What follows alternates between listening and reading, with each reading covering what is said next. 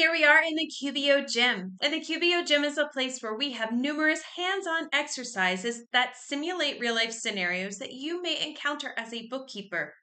Each month covers a variety of new topics and scenarios. And to make it a little bit easier for you, we break it down into four different sections. So if you are looking to work on your bookkeeping skills, this is the place for you. And if you want to do some of these on your own, be sure to join our free five day bookkeeping challenge. All you need to do is click on the link in the description after we go through the exercise. But let's go ahead and get started. We are going to be pulling this exercise from the May Year 1 cardio section where we really focus on those basic skills.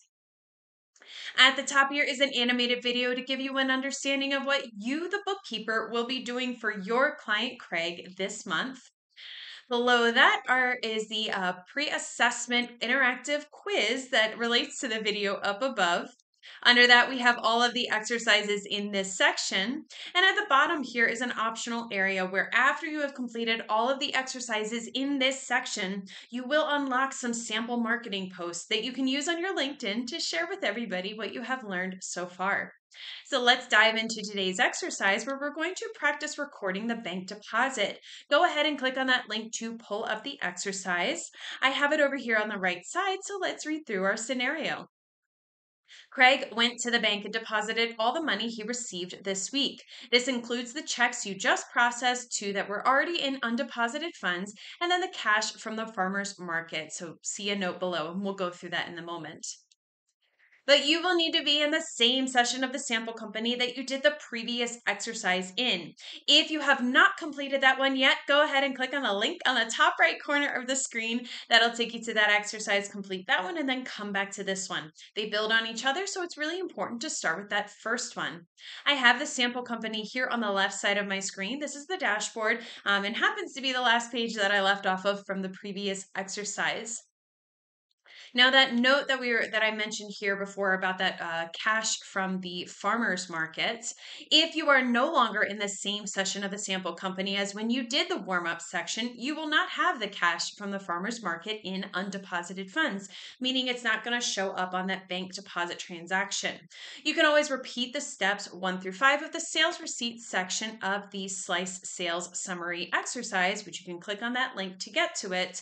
You would just use any product or service you don't have to set them all up again. You could just make sure that the payment method selected is cash and that it's $625 going into the undeposited funds. So you could do that. Um, you could go back and do that if you want, um, or if you're still in the same session of the sample company, you will see that on your screen. But alternatively, you can skip that part of the exercise knowing that your total is going to be different. Now, I am in a new session of the sample company from the warm up exercises. So, if you are in a new session of the sample company from when you did those warm up exercises, um, you will see what you uh, your screen will show exactly what you are seeing on my screen. So let's go ahead and get started creating that bank deposit a transaction. We're going to click on the plus new button and then click on bank deposit. So the plus new button is on the top left corner of the screen. Click on that and then under there, select bank deposit. Now, once it comes up for us, we are going to click on the checkbox at the top of the column to select all the transactions. So I am going to do that right here. That is um, right next to received from. Go ahead and click on that. And I have the checks that we just received from Amy's Bird Sanctuary, Paulson Medical Supplies, and Sonnenschein Family Store from the previous exercise. And then there are two that were already sitting here in undeposited funds. As I mentioned in the previous video, you had to put it in in undeposited funds so that it shows up here on the bank deposit. And then once it physically makes its way to the bank, the cash and the checks, then it will show up here. Um, we can, excuse me, you can create a bank deposit transaction here to show that all of the things that were in undeposited funds have now been um, deposited into the bank. So, as mentioned before, you may, uh, if you were in a different session of the sample company from the warm ups or did not repeat the sales receipt section, your total is going to be 400 or $625 less than what is here on this screenshot. I'm in a new session, so if you're in a new session, this is what your amount will be. But that's okay, it doesn't matter as much about the amount, it's just understanding the process of how you would make that transaction once uh, checks and cash have physically made their way into the bank. But this is all that you have to do here um, now that all of these have been deposited. So we're just going to click on the down arrow next to Save and New and then select Save and Close. So click that down arrow, select Save and Close.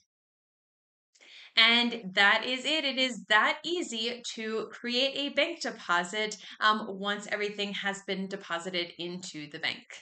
Now, if you like this exercise and you'd like to do more like it, be sure to join our free five day bookkeeping challenge. All you have to do is click on the link in the description. We move through the cardio section, again, focusing on those basic skills with our next exercise where we create a vendor credit and pay the outstanding bill. And I will see you in the next video.